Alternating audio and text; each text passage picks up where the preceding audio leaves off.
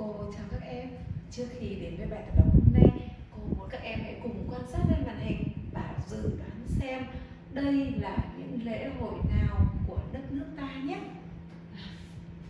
Các bạn thấy ở bức tranh số 1 đây là lễ hội đua voi ở Tây Nguyên.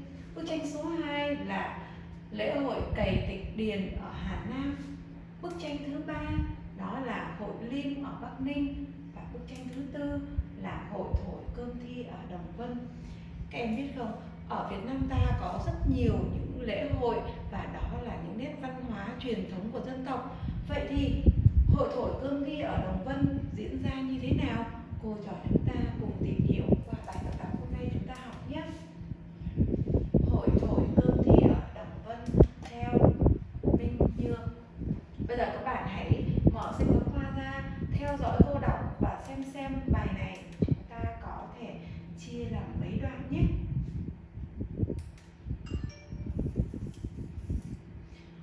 Hội thổi cơm thi ở Đồng Vân. Hội thổi cơm thi ở làng Đồng Vân bắt nguồn từ các cuộc chạy quân đánh giặc của người Việt cổ bên bờ sông đáy xưa. Hội thi bắt đầu bằng việc lấy lửa. Khi tiếng trống hiệu vừa dứt bốn thanh niên của bốn đội nhanh như sóc, thoăn thoắt leo lên bốn cây chuối bôi mỡ bóng nhảy để lấy nén hương cắm ở trên ngọn.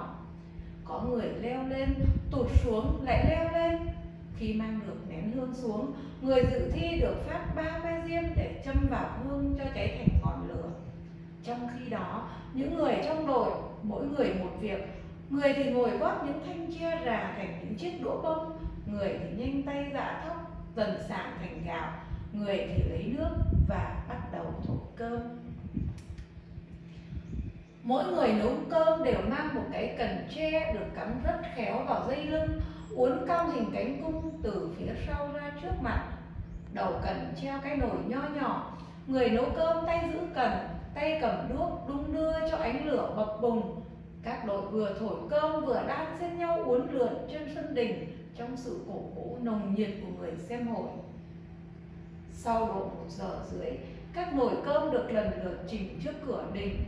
Mỗi nồi cơm được đánh một số để giữ bí mật ban giám khảo chấm theo ba tiêu chuẩn, cơm trắng, dẻo và không có cháy. Cuộc thi nào cũng hồi hộp và việc giật giải đã trở thành niềm tự hào, khó có gì sánh nổi đối với dân làng. Theo minh nhương. Ở trong bài này, các em thấy có những từ như làng đồng vân, ở đây là một làng thuộc xã đồng tháp, huyện đan phượng, hà nội. Sông đáy một nhánh của sông hồng chảy qua hà nội, hà nam và ninh bình. Và các bạn quan sát, đây là hình ảnh của một góc của làng đồng vân ngày nay. Đây là hình ảnh của dòng sông đáy ngôi nhà to rộng của làng thời xưa dùng làm nơi thờ thành hoàng và họp tiệc làng. Trình có nghĩa là đưa ra để người trên xem xét và giải quyết các bạn quan sát. Thoăn thoắt chỉ sự nhanh nhẹn, nhịp nhàng và liên tục. Vậy bây giờ bạn nào có thể đặt cho cô một câu có từ thoăn thoắt để chúng ta nắm rõ nghĩa của từ này nào? Ví dụ như cô có câu, mẹ em gặt lúa nhanh thoăn thoắt và đây là hình ảnh của đình các bạn quan sát sau khi đã nghe cô đọc. Vậy chúng ta thử xem xem bài này chúng ta được chia làm mấy đoạn nào? Bài này chúng ta được chia thành bốn đoạn. Đoạn 1 từ đầu cho đến sông đáy xưa. Đoạn 2 từ hội thi bắt đầu cho đến thổi cơm. Đoạn 3 từ mỗi người cho đến xem hội. Và đoạn 4 từ sau đó cho đến dân làng.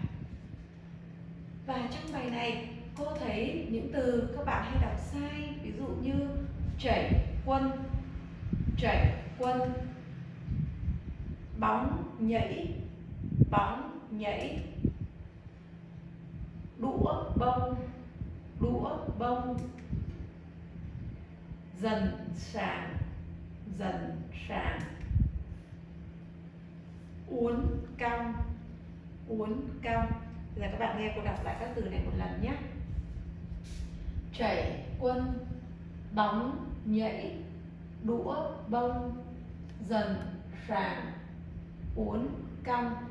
Và ngoài ra, chúng ta có câu mà lưu ý cái cách ngắt. Ví dụ như cô có câu sau. Các đội vừa thổi cơm vừa đen sang nhau uốn lượn trên sân đình trong sự cổ vũ nồng nhiệt của người xem hội. Trong câu này, các bạn ngắt như sau. Các bạn nghe cô đọc câu này lại một lần nữa nhé. Các đội vừa thổi cơm, vừa đan xen nhau uốn lượn trên sân đình, trong sự cổ vũ nồng nhiệt của người xem hội.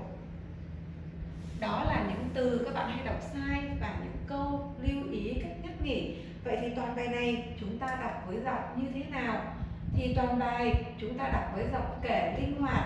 Khi thì dồn dập náo nức khi thì quan thai thể hiện cái không khí vui tươi, náo nhiệt của hội thi và cái tình cảm yêu mến của tác giả với một nét đẹp cổ truyền trong sinh hoạt văn hóa của dân tộc.